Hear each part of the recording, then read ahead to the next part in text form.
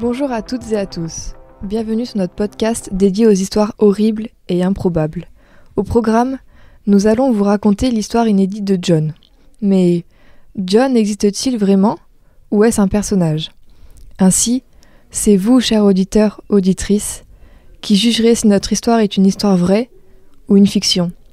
J'espère que vous êtes toutes oui, car le récit commence. John vit en Floride, lorsqu'en 2017, l'ouragan Irma frappe le sud-est des États-Unis. Ce récit se déroule trois semaines après cet ouragan. Quelques mois auparavant, sa femme a divorcé, le laissant dans un état de dépression. De leur union est née une petite fille, prénommée Alice, dont ils se sont partagés la garde. Il a ensuite emménagé dans un nouveau quartier convivial, se situant autour d'un lac. De nombreux événements sont organisés par le voisinage, mais John n'y participe pas au vu de son état psychologique. Cependant, il a réussi à tisser des liens avec Steve, son voisin, ancien marine. Suite à l'ouragan, sa fille retourne le voir.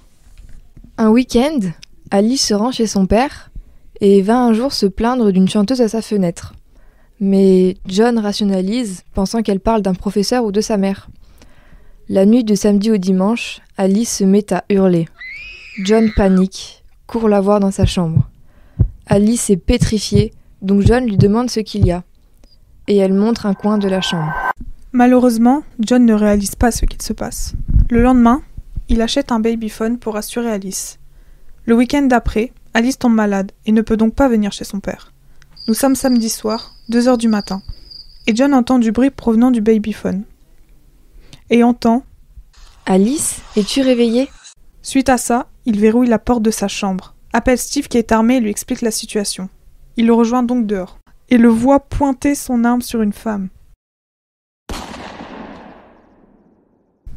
Alors, selon vous, cette histoire est-elle tirée d'une histoire vraie ou de notre imaginaire? Nous espérons que cet épisode vous a plu et nous vous donnons rendez-vous la semaine prochaine pour une nouvelle histoire horrible et improbable. Qui se déroulera en France, dans une petite ville nommée Visil.